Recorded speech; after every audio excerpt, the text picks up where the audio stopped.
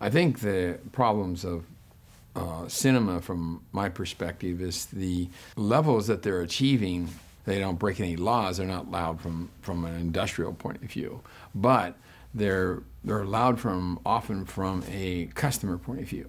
People complain that it seems loud. You know, the levels that they're achieving in the cinema right now are loud enough. You know, that isn't the issue. The issue is, is they lose a lot of information when you have systems that aren't reproducing all of the data uh, depending on what that is, you you have a harder time separating out things in the sound. You know, things have a tendency to blend and blur together, the different kinds of sounds. So the music will get kind of crushed by the sound effects and, uh, and, other music and things like that. So I think the once we kind of show the tools that we have and with the control we have, I think it'll be a lot easier to get everyone to understand that we're not proposing something that's going to get loud and out of control and beat the audience to death and things like that. It's a question of, of refining what we have. In video, if you go to a high resolution screen, you still want to stay at the same brightness as you were when you had a low resolution screen, low resolution data. It's not, we're not saying more resolution and brighter. We're just saying higher resolution, same with sound. We're not saying change the subjective levels that they're trying to create.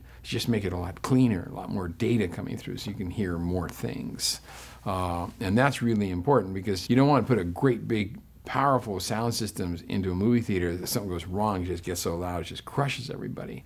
We still want to maintain the levels. A lot of the things that uh, they do in cinema that we don't do in PA uh, in terms of allowing the signal to have more integrity or, or things like that seem to create, we can work at the same levels but not have people complain it's too loud. So that's already built into these first systems like Acheron already. They're already designed to run at these higher definition levels. So it's already there. It's a question of trying to get feed the material. Because if you feed low resolution material that's limited in dynamic range, that's all we can play back. It's like if you feed a, a poor color VHS tape into a modern high def system, it's going to look like a poor quality color, grainy scanline thingy. It's, you can't do anything about that. By encouraging that this can be the experience, you're in the dubbing room or wherever they're working, then that needs to be captured in such a way is that we can then deliver that experience. And we know what that has to be. And we know if it doesn't make it, you know, in terms of testing. We have all the equipment and everything to verify that very quickly to see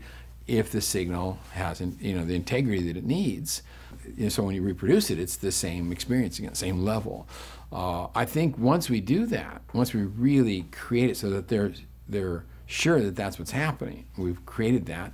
I think it will take one kind of worry off of you that I don't, I want, you know, I don't know, I have to try at this level, and this level, and this level because I don't know what they're going to do. You know, where like dialogue should be intelligible dialogue, and then the, how you put your sounds around that will be up to uh, the artists and the sound designers and things of what they're trying to create. You know, but we do know that some of the films can be very powerful with lots of pressure and energy that, does, that people don't walk away saying it's too loud. They'll hear that when they're doing it. So we're not like saying restricting the creativity of what they're trying to create, they'll hear it immediately. See, in a live show, it's interesting because you're only in the mix position, but you've done enough work to know that all your little satellite systems are working correctly, or someone's done that.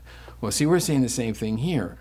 You're in this room, you're mixing it, you're here, but every single satellite room that this goes out to is going to do the same thing. That's all just technology. So the technology we're proposing is a very easy fit and just opens up the possibility to do more stuff just the same way a high definition projector would uh, buy you the ability to do more stuff and you still play your VHS library through it. You know, so we want to stay compatible.